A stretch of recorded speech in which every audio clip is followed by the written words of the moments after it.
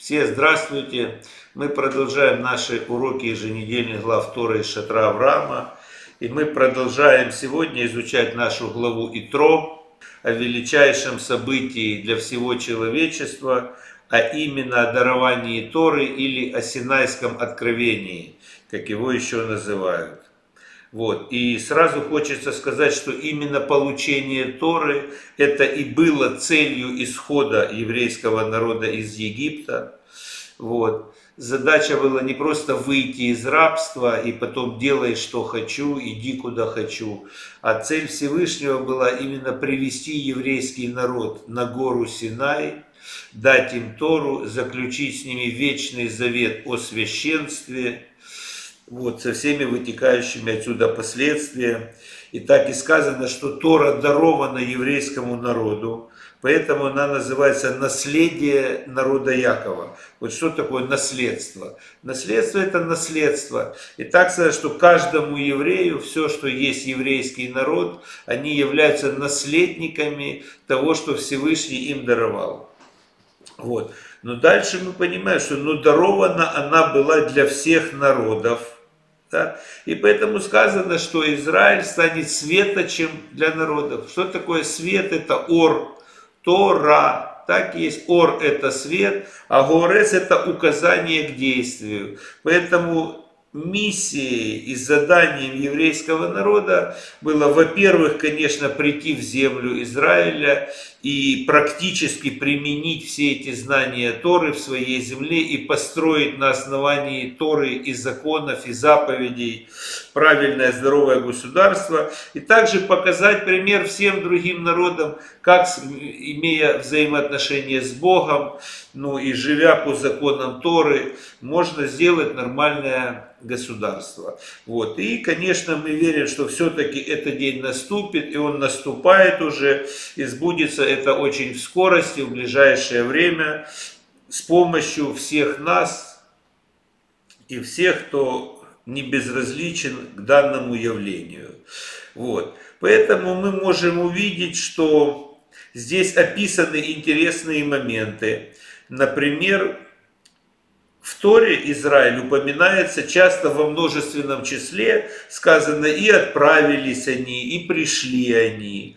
А здесь интересный момент, когда они пришли к горе Синай, написано и расположился Израиль. И здесь стоит единственное число. То есть, когда они пришли к горе Синай получить Тору, то они описан весь народ как один человек. Поэтому, когда речь идет о евреях, что объединяет всех евреев? Их так и называют народ книги. Потому что именно дарование Торы – это то, что и делает еврейский народ еврейским народом.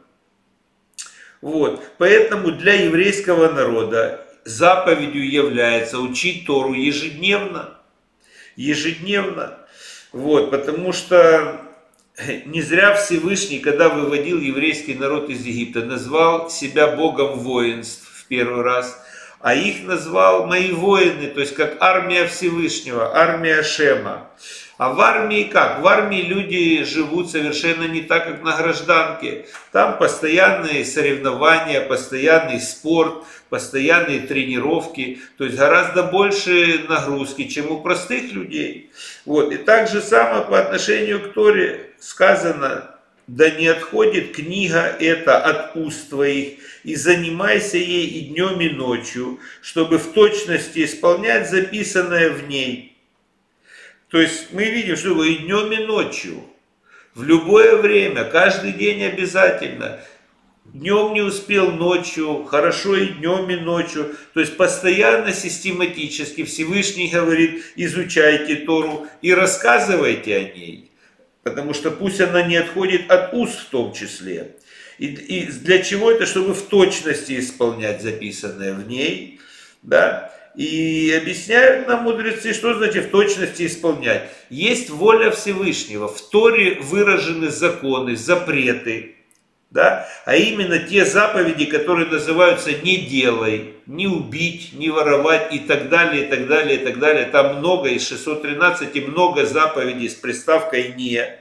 Вот. И это есть законы Всевышнего, это есть его воля, это не дается на выбор человеку. Я хочу или нет, я подумаю, так часто бывает, но это неправильно.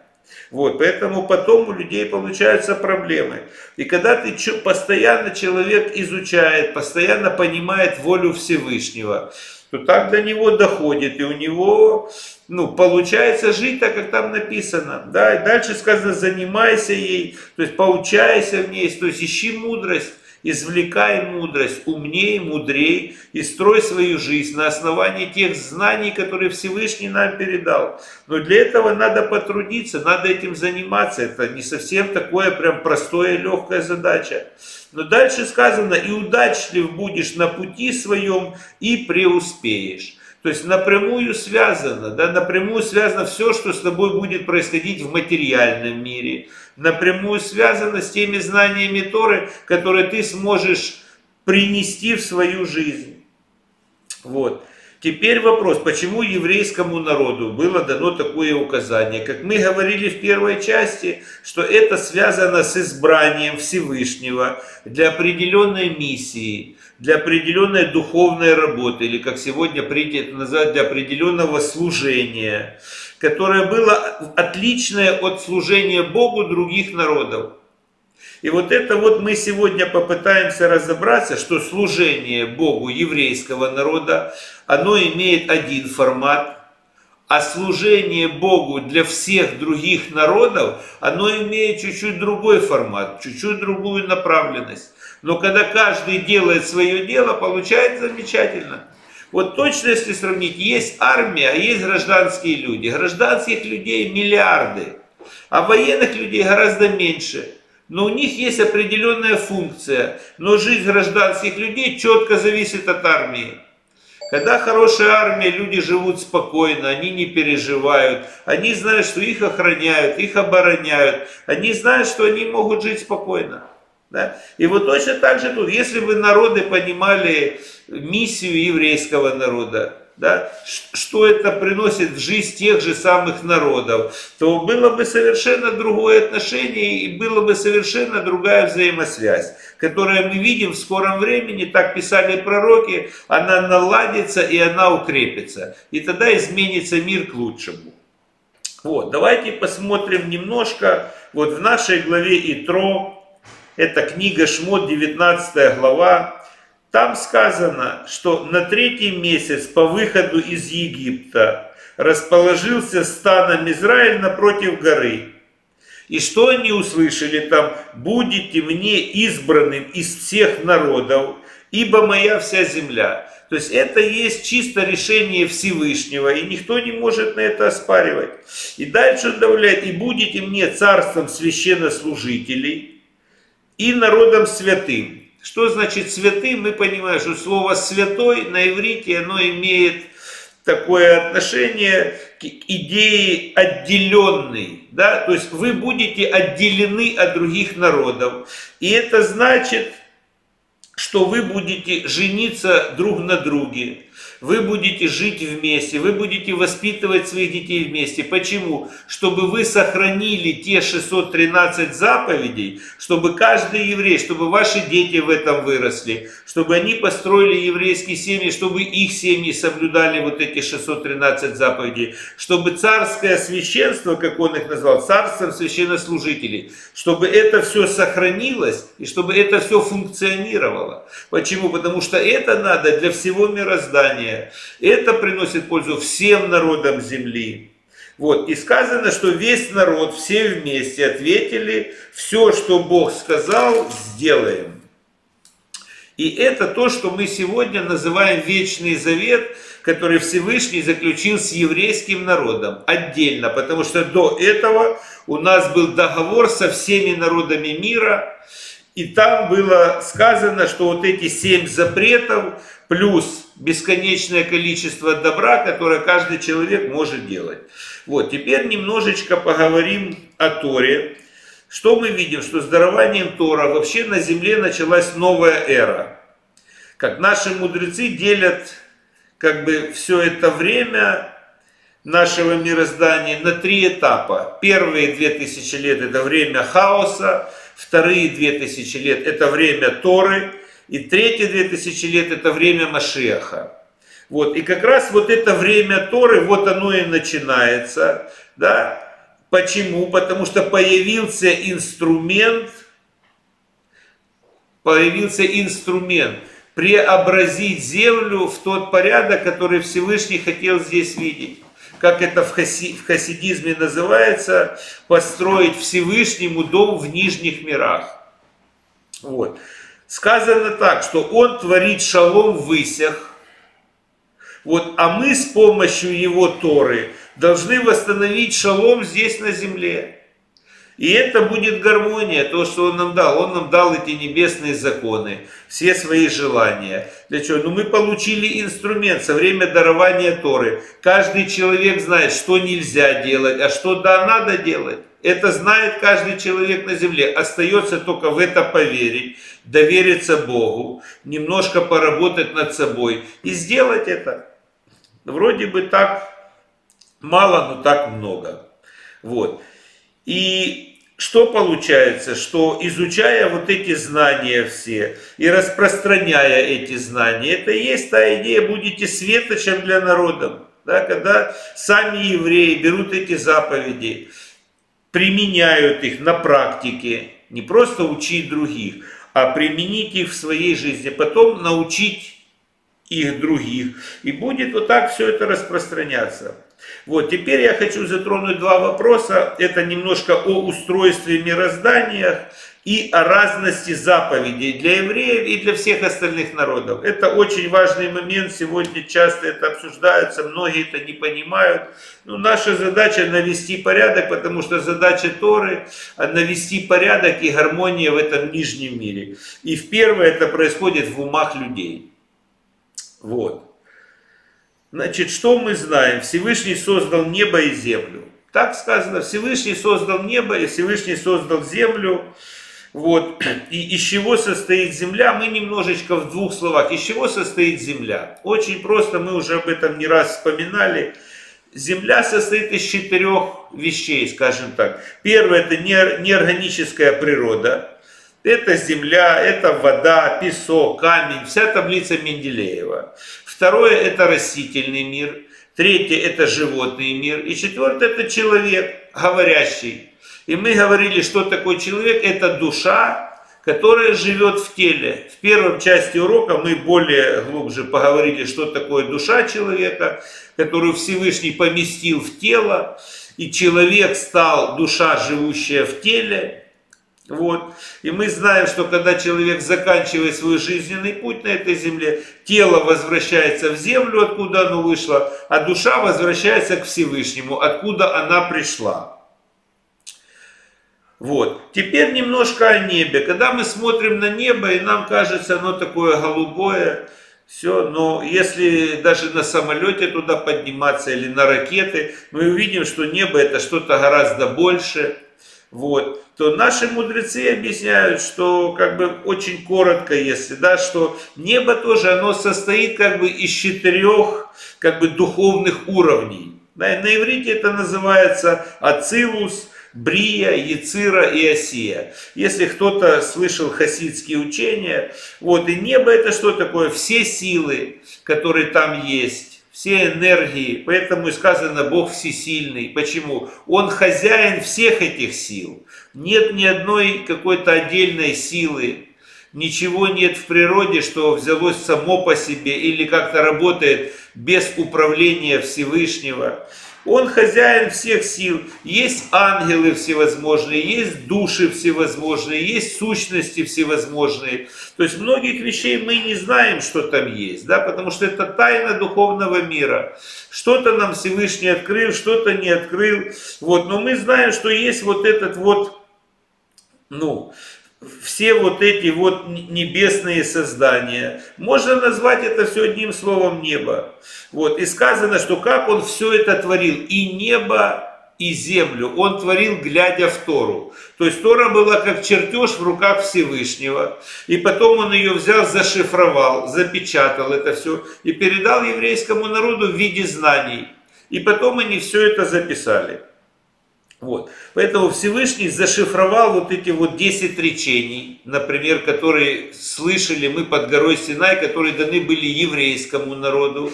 Они не даны были всем народам мира, потому что там же надо внимательно посмотреть, там написано «Слушай, Израиль». Поэтому это обращение, там, где 10 заповедей, сегодня многие люди часто путают. Они говорят, вот Бог дал 10 заповедей человечеству. Эти 10 заповедей, это зашифрованные заповеди, потому что в них, в принципе, это как конспект цитата, но в цитате скрыты многие вещи, потому что там сказано «не убей». Всего лишь одна строка. Ну а не убей как? Когда? Дальше идет расшифровка, что такое не убей. Дальше сказано не прелюбодействуй. А что значит не прелюбодействуй? Дальше идет расшифровка, что такое не прелюбодействуй. Поэтому эти 10 заповедей, которые прозвучали на горе Синай, это, конечно же, даровано было еврейскому народу. Но это только конспект Почему мы говорим, что зашифровано? Потому что к этому конспекту дана была еще устная Тора, устный комментарий. Маше три раза по 40 дней сидел на горе Синай и получал это учение от уст Всевышнего. И в этой Торе, почему говорят, что это книга жизни, она вечная? Потому что в ней есть комментарий на все поколения. Меняется жизнь, меняется поколение, меняется все вокруг нас – да? И все время эта Тора актуальна. Почему? В каждом поколении есть мудрецы, которые постоянно, постоянно раскрывают нам какие-то знания Торы, пригодные для нашего поколения. Но все это даровано было на горе Синай, все это было зашифровано в эту Тору. Поэтому и говорят книга жизни. Ну, например, вот в Танахе есть интересный пример, когда пророк Даниэль, и Всевышний говорит ему, он ему показывает там откровение, и говорит, запиши это в книгу, да, и когда в будущих поколениях мудрые прочтут и откроется для них это видение. Даже сам Даниэль, он, он, он писал, записывал события, которые он видел в видении, но его разум не понимал, что он видит. Он записал это для будущих поколений. А в будущих поколениях люди читают. И кто-то, какой-то глава поколения, какой-то мудрец поколения, он объясняет, что тут написано и как это работает в этом поколении. И так вся Тора, она зашифрована. В каждом поколении раскрывается вот. И эти уровни, вот они наполняют большой силой, большим светом, мощью вот этой, да, наполняют души людей, которые сегодня эту Тору изучают. Вот. И у человека все меняется. Ну, вот, например, есть сегодня учение хасидизма. Да? И часто люди спорили, вот они, когда началось это, откуда это учение взялось и как. Это та же самая Тора, тот же самый комментарий, то же самое раскрытие вот этой божественной мудрости, божественных откровений, только с новой силой, которая необходима в этом поколении. Эта сила необходима, чтобы сделать эту работу. Потому что делать ее должны люди, а люди должны укрепить свои души и раскрыть вот эти знания, вот этот свет внутри себя. Интересно выразился Рамбам. Он сказал, он привел такой пример, что есть болезнь, а есть заболевание против болезни, да, ой, лекарство против болезни. Вот. И он говорит, что точно так же есть заболевание души, а есть средства, которые необходимы для того, чтобы эта душа выздоровела. И поэтому Всевышний Тора, Ор, он раскрывает больше вот этот цвет, чтобы сегодня души могли исцелиться. Мне понравился пример, который привел Любавический Рэб. Он говорит, что вот каждое новое время появляются какие-то новые современные врачи и новое какое-то современное лекарство. Но есть некоторые люди, они говорят, нет, мы не доверяем, мы будем вот как наши бабушки. Ну хорошо, иногда это тоже работает, но все равно современные, вот как сегодня, например, какой-то современный вирус – его не было в те года, это он уже в нашем поколении. Поэтому надо какое-то новое лекарство. Если человек им не пользуется, так это проблема. Если лекарство, конечно, хорошее. Да? Вот. Но, например, когда был изобретен простейший пенициллин, Это же миллионы людей не умерли. Почему? Потому что изобрели новое лекарство, лекарство нужное в том поколении, когда была вот эта вот болезнь. Сегодня уже не каждый отдает себе отчет. Точно так же есть в каждом поколении заболевание душ это безбожье, это все, что нас окружает. Поэтому Всевышний раскрывает новый, новый, новый, новый свет Торы. И это есть вот это вот учение, устное учение, хасидизм, кабала, вот этот вот большой свет, который меняет души людей.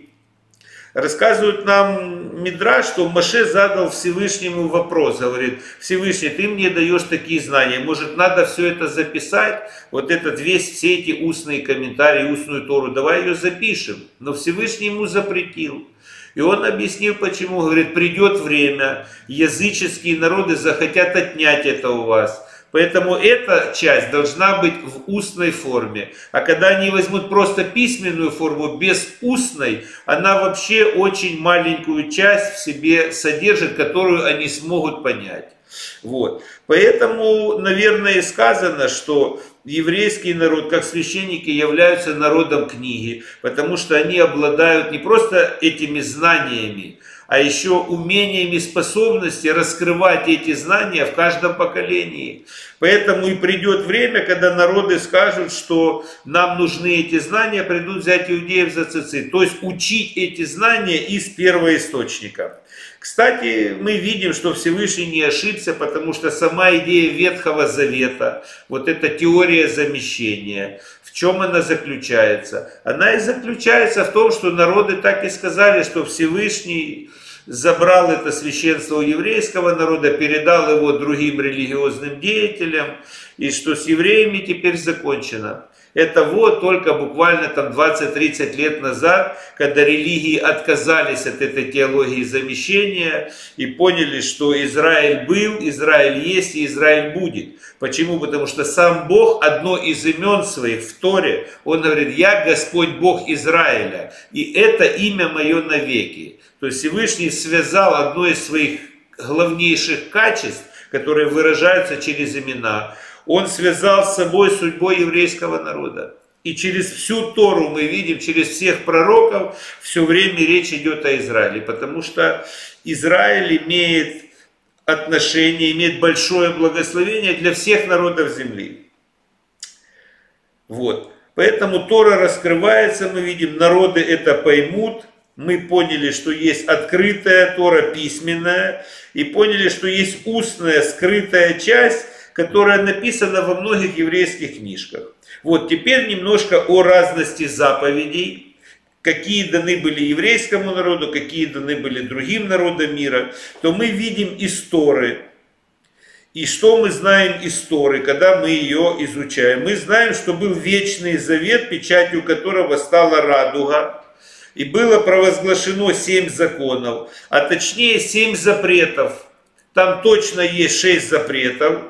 А один можно расценивать как повеление, это создать судебную справедливую систему. Но если наоборот подумать, запретить создавать коррумпированную судебную систему, то в принципе все равно семь запретов. Вот. И эти законы были открыты Ноху после потопа. Это были конкретная воля Всевышнего. Их нельзя ни заменить, ни изменить, ни передвинуть. Потому что это является вечным, вечным его волеизъявлением. Вот. И они так и называются 70 общечеловеческих законов, и даны они были для 70 народов, которые произошли от 70 внуков Ноха. И это четко сказано в первой главе, ну, в первой книге Берешит, которую еще называют бытие. Да, и это сказано в 7, 8, 9 главы. Все там это четко-четко описано. Вот. И можно разделить вот эти семь как бы на три подгруппы. Первое это две заповеди, два закона. Не поклоняться идолам и не богохульствовать. Что это значит? Это запрет обожествлять всякие явления, обожествлять всякие предметы, не клясться именем Бога, как говорят, не богохульствовать, не клясться именем Бога напрасно. А если человек уже и дает клятву, тогда ее надо исполнить. Вот. Так же самое сказано, не осквернять имени Всевышнего. Как? Когда ты не просто клянешься, а когда ты позиционируешь себя, что ты Божий человек, но ты ведешь себя так, что, глядя на тебя, оскверняется его имя, то это тоже это очень плохое поведение. Вот. Следующие четыре закона. Это не убей, это не укради, это не развратничай. Вот. И задание создать справедливую судебную систему. Кстати, закон создать справедливую судебную систему, он также перекликается с еврейскими заповедями, потому что там есть заповедь «не лжесвидетельствуй», а это примерно то же самое, только там написано это в форме запрета, а у народов написано «создать справедливую судебную систему», больше похоже на повеление. Но в принципе это одно и то же. Кстати, очень важная заповедь, потому что справедливая судебная система, мы можем увидеть, что сам Всевышний, он предусмотрел смертную казнь. И, например, люди взяли и отменили смертную казнь. Ну, как бы это имеет вид добра, но это имеет только вид добра. И, например, Каббала, скрытая мудрость, говорит, что из-за того, что люди отменили смертную казнь, наказания пришли на, на землю, эпидемии пришли на землю. Потому что люди думают, что они добрее Всевышнего. Кстати, в Израиле были такие законы, которые вообще там есть случай, что один раз была смертная казнь за какое-то огромное количество времени. Те законы, которые дарованы, наоборот, они бывают жестко слышатся, но они нужны для того, чтобы люди не нарушали. Сегодня мы видим полная вседозволенность. Ну и почему? Потому что люди отменили божественную заповедь. Вот. И, например, что мы можем увидеть вот в, в этих заповедях для людей? Здесь как бы главная идея, что есть необходимость ценить личность человека, потому что человек назван венец творения, и сам Всевышний наблюдает за тем, чтобы один человек не обижал другого человека. И здесь написано, как он его может обидеть. Вот. И седьмой закон не есть плоти от неубитого животного. Эта заповедь, ну если очень коротко ее описать, описывается так, ценить творение и все, что создал Всевышним, и относиться бережно ко всему, чтобы ну, не уподобляться животным. Да? Все, что сделал вокруг Всевышний, вот в еврейских законах есть очень много по отношению к природе, там, по отношению к птицам, по отношению к деревьям. Все это надо ценить, и все это надо уже, почему? Всевышний все это создал, все это создал для нас, и дал нам повеление возделывать сад. То есть за всем этим смотреть и все это наблюдать. Отсюда мы можем видеть, что появляются всякие партии зеленых, защитники животных. Вот, конечно, если люди знали бы божественные законы, то они бы все это сделали еще четче и лучше. Но думаем, что это все-таки скоро, скоро как-то случится. Вот. Поэтому это был запрет разрушать мир, который создал Всевышний. Это вот в совокупности семь заповедей. Если мы посмотрим, запрет разрушать мир, который создал Всевышний, где человек является венцом творения.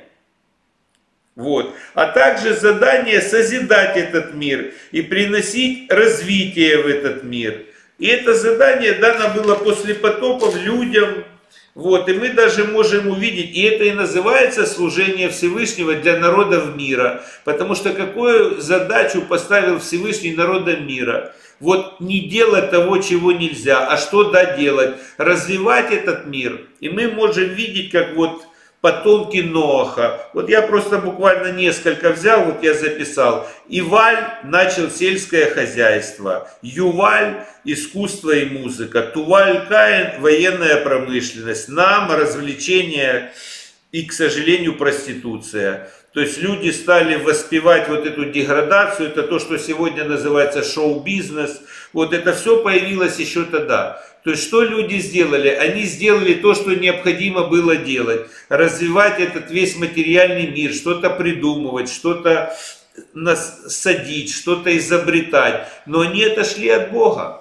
Они почему-то сделали все это вместо связи с Всевышним Вместо того, чтобы изучать его законы, поддерживать с ним связь там, через молитву, через выполнение заповедей и делать все, что надо было, это и есть служение Всевышнему. Потому что что такое служение Всевышнему? Часто люди путают, они думают, когда человек молится, вот это вот служение Всевышнему. Или когда он изучает там святые тексты, или когда он дал сдаку, там, благотворительность. Они думают, что только это служение Всевышнему. Так человеческая душа пришла в это тело, и 24 часа в сутки, сколько ей дано, это все служение Всевышнему. Ну, по крайней мере, так это надо расценивать. Но что люди сказали? Они сказали себе, вот когда мы помним, они стали делать кирпичи, стали строить Вавилонскую башню. То есть в чем идея заключалась? Они сказали, я сам себе хозяин, вот эта идея фараона, я сам знаю, как жить, причем здесь Бог. Но если глубже подумать, Бог создал душу, Бог создал землю, Бог создал тело, Бог поместил душу в тело, да, дал жизнь человеку. Всевышний поместил жизнь человека в определенном месте, в определенном поколении. А потом человек говорит, я сам знаю, как мне жить. Ну хорошо, человек должен попробовать, у него не получится. Да? Но преднамеренно как было, что как Адам, он в тени, в прохладе дня, он общался с Богом, и он имел там взаимосвязь и с животными, и с растительностью, и сад возделал, и животных называл, со всей той природой, со всем тем миром, который Всевышний создал для него то надо было все вот это делать. Но главное не потерять связь с Всевышним. И цель, ради кого и ради чего ты все это делаешь. Вот. Поэтому надо развивать материальный мир, но не стать безбожником. Вот, и мы видим, что Всевышний заключил завет с народом, дал необходимые силы душе и дал определенное задание – и дальше важен вот этот вот момент. Появляется человек по имени Авраам. Он вышел из этих народов. И он дошел своим разумом до существования всемогущего Бога, который всесильный, хозяин всех сил. И Всевышний раскрылся Аврааму, заключил с ним вечный завет. И что здесь произошло? Он раскрыл вот эти уровни души Авраама и наши мудрецы объясняют, что он раскрыл в нем вот этот вот пророческий уровень. Он дал ему вот этот завет обрезания. Да? И после этого Авраама назвали Иври. И он стал евреем, и он стал родоначальником еврейского народа. Поэтому что мы можем увидеть? Ну, если так можно выразиться. Задача народов мира – служение по горизонтали, возделывать землю и вот появляется народ от Авраама, то, что происходит в нашей главе. И они становятся священниками. И эту работу можно назвать работу по вертикали. Там работа с землей, тут работа с небесами. Вот. И есть интересный пример этому. Вот мы можем увидеть, когда Авраам взял двух своих друзей и осла.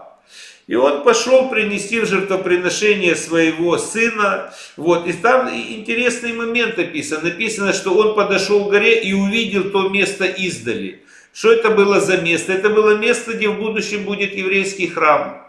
Он увидел это место издали. Каким? Пророческим духом. И что он сказал своим друзьям? Это были не еврейские люди. Он говорит, постойте здесь, подождите меня, а мы с сыном пойдем и поклонимся Всевышнему на горе и вернемся к вам. И в этом есть пророчество сегодняшнего времени. Есть еврейское служение, которое не дано делать другим народам. Потому что Всевышний доверил это только священникам. Сегодня есть множество заповедей. Есть Шаббат, есть Йом-Кипур, есть Рошашана, есть все праздники. Это все заповеди, которые совершают и сегодня еврейский народ. Это работа с небесами. И благодаря всем выполнениям этих заповедей и законов мир меняется, и божественное, божественное присутствие раскрывается в этом мире. Вот. Но те народы, они ждали внизу, Авраам с сыном спустились, да, и написано там соляни и осел. Что такое осел? Хамор в переводе на еврейский язык. Хомор это материальность. И там стали народы с материальностью, задача которых и служение которых преобразить этот материальный мир. И мы видим здесь вот это то, что и должно происходить на земле, да? что Всевышний дает 613 заповедей еврейскому народу. И дает семь законов народа мира. И если там посчитать, то уже даже посчитали мудрецы, что там около 250 заповедей, они подходят также народа мира. Но он не давал им это как закон, а как акт доброй воли. Поэтому человек может не нарушать семь и делать безграничное количество добра, преображая людей, помогая людям и изменяя этот материальный мир. Вот. Поэтому немножко мы еще скажем о еврейских заповедях. Вот. Сказано так было, слушай Израиль. Почему я уже изначально сказал, что это только для евреев 10 заповедей. Слушай Израиль, я Господь Бог твой, Господь один. То есть о чем здесь говорится? То, что мы сказали, что и небо, и землю все создал Всевышний. Поэтому он говорит, поймите, что я и на небе, и на земле, и под водой, нет другой власти, нет другой силы. Я являюсь источником всего. И отсюда, как вывод, звучит следующее. Не поклоняйтесь идолам, не служите им, ни того, что на небе вверху, ни того, что по земле ходят ничего не того, что под водой, никакая рептилия, никакая птица, никакой человек не может иметь никакой, никакой связи вместо Бога. Это все источники, это все каналы, но есть только я один, он я Господь Бог, ваш Господь один единый. И в чем его единство, что и на небе, и на земле, и под водой, потому что он и в пространстве, и вне пространства, которое он создал. Он внутри времени, и он вне времени, которое он создал для нас, для этого мироздания. И он говорит, я один, я единственный источник, и только мне поклоняйтесь, и только мне верьте. Вот это вот единство Всевышнего. И дальше он говорит, что он не говорит, что я творец ваш, а я, который вывел вас из земли египетской. То есть он говорит, я вот этот единый, который всемогущий всесильный, я буду заботиться о вас. И на основании вот этого первого речения, тогда уже понятно вытекают отсюда девять остальных речений. И тогда все понятно становится. Вот. И теперь немножко вот различия в заповедях. Например, здесь сказано заповедь «почитай отца и мать». Другие спрашивают, а что, почитать отца и мать народам не надо? Конечно, надо. Но там все эти заповеди, они включены в заповеди о справедливости, совершать справедливый суд и быть справедливым. То это и так понятно, поэтому до этой заповеди народы могли додуматься. Но в еврейском контексте это имеет в виду чуть-чуть другой аспект, потому что он и отец, и он также само и духовный наставник. Поэтому почитать обязанность, потому что имеется в виду, да, что этот, этот человек, твой отец, он также и носитель Торы, и он носитель вот этих законов Всевышнего, который должен тебе эти передать. Поэтому здесь описано более такое серьезное и важное отношение. Вот. Потом следующая заповедь, не возжелай. Тоже Почему она написана? Потому что она имеет особенное отношение к еврейскому народу. Посмотрите, как написано. Не возжелай ни дома, ни жену, ни быка, ни осла, ни раба, ни рабыни, ничего, что у ближнего твоего. Почему не сказать сразу, не возжелай ничего, что у ближнего своего? Ведь в прошлой у нас уже была заповедь, не возжелай, там, не развратничай, не прелюбодействуй. А здесь и, и не грабь, не воруй, все это уже было. Зачем здесь перечисляется? И объясняют наши мудрецы, что такое «не возжелай». «Не возжелай» к чему это имеется отношение? К чему? А это отношение к своей душе, к своим желаниям. То есть о чем здесь говорится? И ничего, что у ближнего своего. То эта заповедь учит евреев, так как им надо работать с текстами, работать с Торой, вообще глубоко мыслить глубоко вникать в каждую проблему, глубоко вникать, не быть поверхностным. Вот чему учит эта заповедь. Потому что когда я вижу чужую жену, Всевышний говорит, если ты вникнешь глубоко во все, что у этого человека связано с женой, ты поймешь, что это не твое. Если ты увидишь дом, у человека и вникнешь во все, как он у него появился, откуда, зачем. Если ты всю будешь картинку видеть в полноте, то, возможно, тебе и не захочется этот дом такой ценой и так далее, и так далее, и так далее. То есть эта заповедь особенная, почему? Она учит вникать глубоко. размышлять, искать тонкости, вникать и копать, и искать мудрость, которую Всевышний доверил еврейскому работу, вот эту вот Тору, вот разбираться в глубинах, вот во всех этих деталях и тонкостях, то это качество необходимое для изучения Торы. Вот. Это совсем не говорит о том, что народы не имеют права это делать. Но это не было сказано как обязанность. Потому что там были перечислены самые важные. Теперь следующее. Чти день субботний, чтобы не совершать никакой работы. И сегодня очень много споров за это. Другие религии говорят, это и нам тоже. Шаббат, суббота. Но четко написано, что это дано только еврейскому народу. И часто задают люди, а если я буду совершать субботу, там, ну тоже не буду работать, не возьму это как закон себе. А я объясняю, иди знай, это только Всевышний знает твои намерения. Вдруг будет тебе от этого лучше, а вдруг будет тебе тут от этого хуже, деньги потеряешь. Если ты не работаешь в субботу, ты же можешь не работать и в воскресенье, и в понедельник. Зачем тебе какие-то ограничения с работы, если тебе этого не говорили? То если человек берет это как религиозный закон, он как бы самовольно делает что-то, то, что Всевышний ему не доверял, но это тоже гордость какая-то. Если у человека другие мотивы, другие намерения, ну это сложный вопрос. Но о чем мы да можем сказать, что если человек выделит, э, например, эту заповедь для себя, сделает ее важной, Почему? В свидетельство о вере, что Всевышний сотворил небо и землю. И мы знаем, что Всевышний шесть дней творил, а седьмой день говорит шаббат. И когда человек имеет такое внутреннее отношение, он может по-любому выразить свое отношение к субботе сделать этот день немножко праздничный. Даже если он будет работать в субботу, он может в пятницу вечером отметить этот день, закончить этот праздник в субботу вечером. Он может просто выделить и сделать особенным этот день. Вот и все. И для него будет на этом точно благословение. Вот. Поэтому здесь надо подходить правильно. Есть закон, а есть какое-то намерение доброй воли. И намерение доброй воли нельзя превращать в закон, еще и позиционировать это, что нам Бог тоже это дал. Да, как в истории часто и происходило. Вот. Поэтому почему он дал это еврейскому народу? Потому что как священникам, говорю обратно, именно как священник, потому что время это особенное творение. Что такое время? В духовном мире нет времени.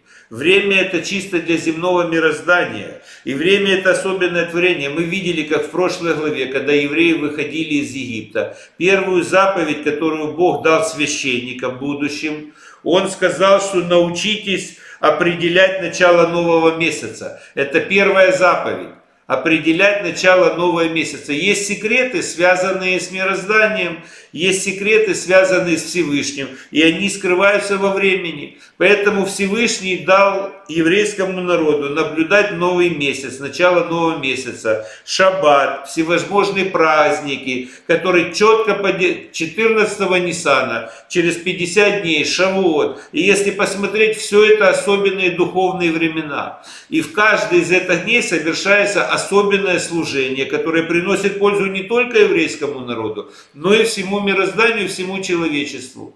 Но когда другой человек пытается это подражать, у него, конечно, ничего не получается. Поэтому в чем здесь идея, в чем здесь гармония, когда евреи соблюдают свои законы и заповеди, нееврейские люди, а это почти весь мир, соблюдают свои законы и заповеди. И тогда получается то, что говорят нам наши мудрецы. Вот, например, еврейское слово кетер, корона да, и оно имеет числовое значение 620. И один из комментариев, мудрецы говорят, что 613 еврейских заповедей, плюс 7 заповедей для всех народов мира. И получается 620, то есть кетер, корона. То есть Царство Всевышнего будет раскрыто на земле, как на небе, как в его замысле. Вот, поэтому на этом мы наш урок закончим на сегодня. Желаю всем увидеть себя вот в этом, в плане Творца, найти свое место, понять, как лично я могу, вот лично я, лично каждый человек в этом всем большом замысле, как я могу служить Всевышнему во всем этом, вот, и вложить практически какой-то свой труд. На этом наш урок закончен. Всем хорошей недели.